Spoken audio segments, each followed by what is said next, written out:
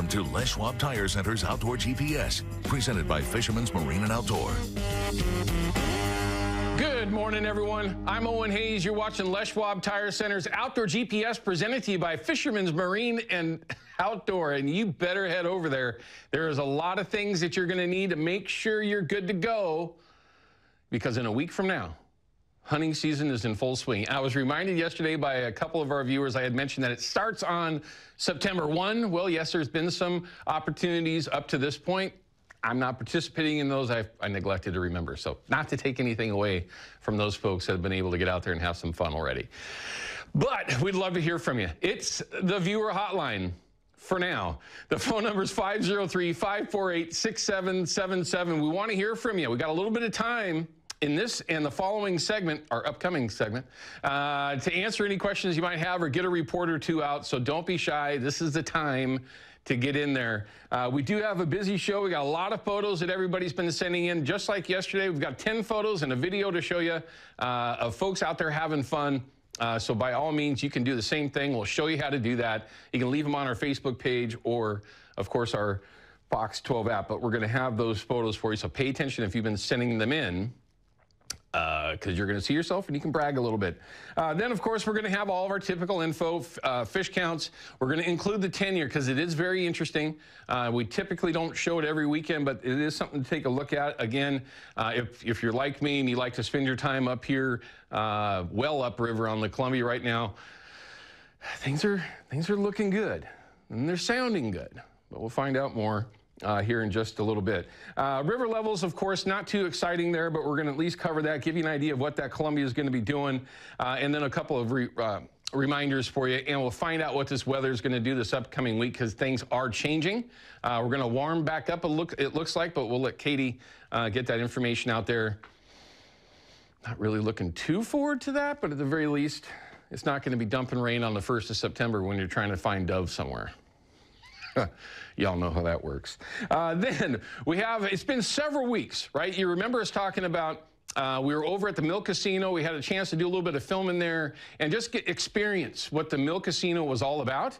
And I'm going to tell you right now, it is at the top of my list. I absolutely love this place. I just wish that we, I could have gotten back there since then, middle of uh, January, or excuse me, July, uh, when we were there. So many different things to do in that uh, Coos Bay area, let alone uh, at the Mill Casino. Uh, and today we're going to have a chance to highlight that a little bit uh, and also talk with Mike Laffey. He's the man behind that place.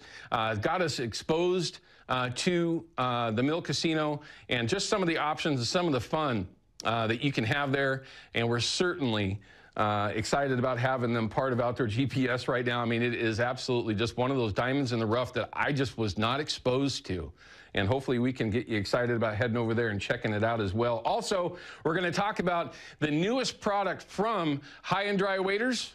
My buddies over there at High and Dry have got a brand new product. I had a chance to uh, prototype them, I guess, or R&D them a little bit uh, this past duck season, and then all through, geez, since duck season ended, uh, which is not too far away. Geez, so many things to look forward to. Uh, but you got to see it mainly because you got a small window to take advantage of it, but we'll get there. You'll understand what I'm talking about. Uh, when we get to that point. Then, if you've been chasing pike minnow, uh, we actually got one of our uh, Facebook fans sent in a photo of a pike minnow that he just recently caught that was tagged, a $500 uh, pike minnow. It was the only one that he's ever caught trying to actually participate uh, in that pike minnow reward program. How awesome is that? You reel one in, it's got a little tag, and it's 500 bucks pretty cool. Anyway, we're going to have those numbers for you. Uh, as well if you've been chasing those things. And again, we always appreciate those folks that are doing it. Now, I rushed through that for a reason. We got a bunch of phone calls that are coming in. Uh, it looks like, well, let's just go down the, the, list if we can. At least try to get one of them in here uh, before this upcoming segment. Is that okay? Let's let's talk with Porter uh, from Portland. He's got a report uh, from Buoy 10. Uh, Porter, when were you actually out there? Was it today, yesterday? When were you fishing? Uh, I've been down here for two weeks, so we've oh. been hitting it hard for two weeks. Wow, man, you're an Iron Man. How the heck do you do that? Oh, I've been doing it for a long time, over 50 years. So. Oh, wow. Okay, so you're you know yeah. you, you know what's going on down there. How's it been for you? Uh, we brought fish in every day, and on several days we got our limit. So there's plenty of fish down here. How are things as of now? It being Sunday, it's the 25th, another uh, week or so uh, to stay in that area and go after Chinook at the very least. Uh, how's it been up to this point? Uh, really good, and I think it's going to get better. There's more fish coming in. I, I listened to the guides uh, update, Cody Herman and a couple of them. Yeah. They're doing updates every day, day and uh, there's more and more fish coming. So it's been pretty good. The fish are a little bit bigger this year, getting some nice uh, upper river bright, and so it's it's been a good year so far. Have you been able to run across uh, any amount of silvers down there, or is it still a little early for you? Uh, no, the last two or three days, that's what we limited out on silvers. So the Oh, nice. silvers are coming in. Well, good. We got a lot to look forward to, everyone. Like I keep saying, this is that time of year. How much longer are you down there, Porter, before you're done? I'm actually leaving today. I got to go to work tomorrow. Oh, the two week run is over with. You're stocked up with salmon, and it's time to get back to reality. I get it. Porter, thank you for calling and sharing the report. We appreciate it. All right, have a good one. You too. Thanks again for sharing. We appreciate that, my friend. All right, so I got Rick from Salem. And we've got Richard from Kenmore. We're going to take their calls. I actually have a live report from Richard, so I want to save a little bit of time with that. So let's go ahead and show you those photos that everybody's been sending over, and then we'll show you the best way to send those photos over that we show each and every Saturday and Sunday morning. So we'll start with those, and then we do have a video uh, at the end of this as well. Bailey and Dad, this is out of Winchester Bay. God, don't take that. If you haven't been there, the reports have been fantastic. Uh, there's just a lot of really good op- options out there. Devon defeats the Giant. That is a really nice Chinook right there. I don't know if that's the Oregon extended extended arm or not, but that was a nice one. Uh, Gone Catching, uh, Buoy 19. Shh, don't say that too loud. Uh, Catching, I love the photo. Look at the little, look at the smile on that little girl's face. That's just awesome. Here's another great one.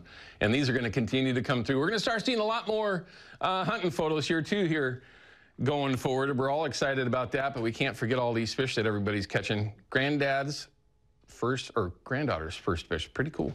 Um, Guy White and David Pyle, two great dudes. David Pyle, we've only had the chance. He's so hard to pin down. Look him up, everyone. You'll find him on YouTube. And Guy White, he is the autopilot master. Not, no question uh, about that. Has saved me on so many different of my boats. Uh, nephews for salmon. Matt, thanks for sending it in. Great photo. Just a dandy. Oh, here we go. A couple of summers. Nolan and Silas, uh, coastal rivers. Uh, yeah.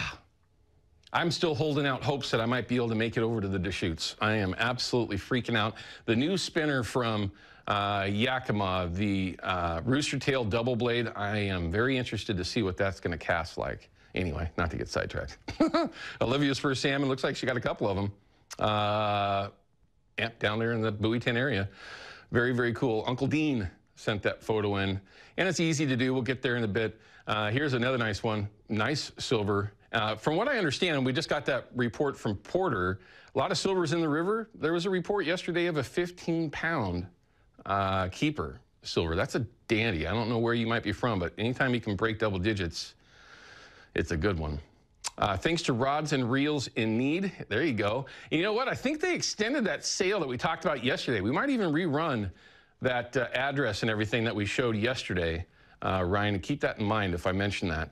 Uh, but yes, that's exactly what this is all about with Rods and Reels in Need. They help young people, families, everybody, anybody in need uh, that wants to get out on the water and, and just doesn't want to make that huge expense up front or can't. This is just a fantastic organization to help you get out there uh, and have some fun. Here's a quick video. Getting the kids involved. This is from Rob. And yeah, that's big water. Very cool. Yeah, you got to bring up the young ones behind you. It won't be long. Lana's going to be running my sled, hopefully. Uh, easiest way to do it's that Fox 12 app. Download it, find Outdoor GPS, and there's a number of reasons why you want to have this app on your phone. But you can also upload those photos and videos, and we will show you off Saturday and Sunday morning. All right, we're going to cut to a break. When we come back, I got a couple of phone calls. So Rick from Salem uh, will be second because I have a live report. I've got Richard from Kenmore uh, with a live report from the Columbia. Then we'll also have the info that you'll need to make a decision going forward. We'll be right back.